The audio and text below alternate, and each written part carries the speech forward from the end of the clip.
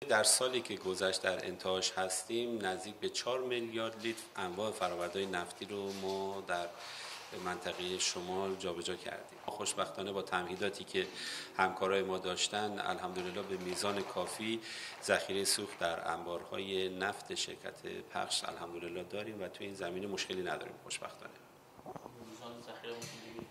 میزان ذخیره سازی رو البته عدد و ارقامش چون در اختیار شرکت پخش هست اونا می‌دونن. ولی کم با صحبت هایی که من با مدیر شرکت پخش داشتم الحمدلله هیچ گونه کمبودی از هیچ نوع فرآورده مصرفی مورد نیاز مردم ما نداریم. مرحله.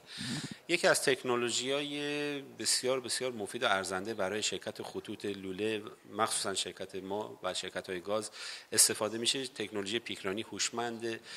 پیک هوشمند یک تکنولوژی هستش که یک وسیله الکترونیکی و مکانیکی از داخل خطوط عبور می‌کنه و نقاط ضعفی که خطوط داشته باشه به واسطه خوردگی و یا لهیدگی یا دنت شدن اینا رو به ما نشون میده. دقیقا آدرس به ما میده که دقیقا در کجا هستش و ما می‌تونیم بریم اون نقاط رو براش برنامه‌ریزی تعمیراتی انجام بدیم.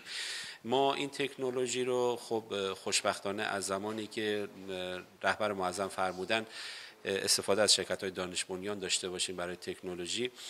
شرکت های زیادی داخلی و شرکت های دانش بنیان ما دست گرفتن تکنولوژی رو. قدم های خیلی خیلی مثبتی هم گرفتن که من مطمئنم در آینده نه چندان دور انشالله این تکنولوژی در اختیار خودمون قرار می‌گیره و بومی سازی خواهد شد. ما قبلا این تکنولوژی رو از کشورهای آلمان و روسیه استفاده می‌کردیم در شرکت که انشالله به امید خدا خیلی زود شاهد خواهیم بود که این تکنولوژی بومی شده و در داخل می‌تونیم استفاده کنیم.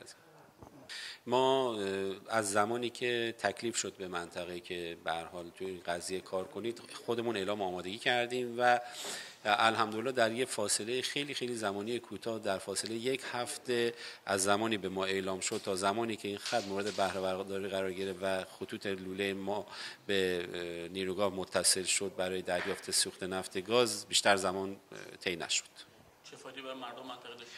بزرگترین فایدهش اینه که اون بحث تراکی که یا به عبارتی حمل فرآوردهایی که توسط تانکرهای سوخت با ترلیا تو این جاده پرخطر نکا انجام می‌شد خوشبختانه به واسطه اتصال به خطوط دیگه هست شد و به حال خطر که همیشه در جاده وجود داشت برای مردم و زمین های مجاور الحمدلله زوزوده شد.